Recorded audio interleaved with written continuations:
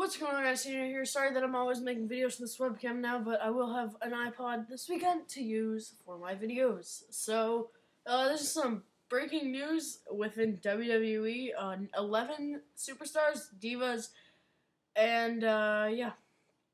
And, uh, one former, uh, one referee. Uh, altogether, there's 11 people. Um, so, breaking news, guys this is, came as a big shocker. JTG was released. Oh my god. Are you kidding? No, I'm kidding. JTG um hasn't been wrestling in forever. Uh, last time I saw him wrestle was like I think it was on an episode of Superstars in July. That's the last time I saw him. Cherry Seven Up. It's good. Uh, yeah. So these are the lists. Um, some of these surprise me, some of them don't. Just look at that one, surprising.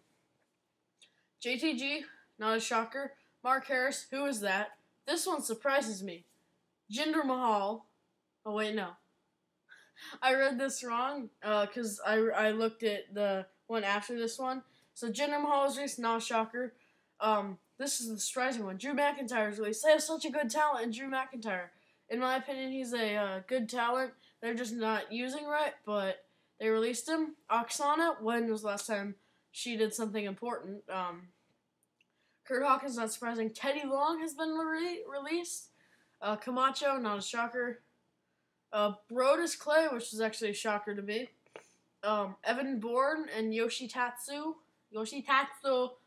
Um, I was hoping, I was hoping Yoshi Tatsu would be the next WWE champ because he's amazing. But um, yeah, I'm gonna say my thoughts about all these. JTG, not a shocker. Marc Harris, I have no clue who that is. Drew McIntyre, surprising.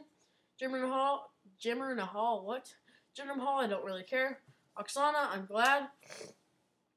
Curt Hawkins, I don't care. Teddy Long kind of came as a shocker, uh, but yeah, um, Camacho, not a shocker at all. Uh, he was on. He was facing Adam Rose on NXT like two weeks ago, but oh yeah, two weeks ago the next season. I just realized that.